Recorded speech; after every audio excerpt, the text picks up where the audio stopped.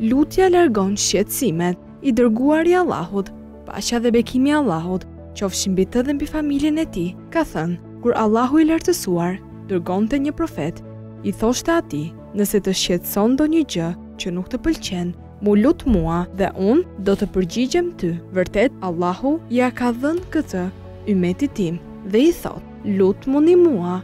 E unë do t'ju përgjigjem juve.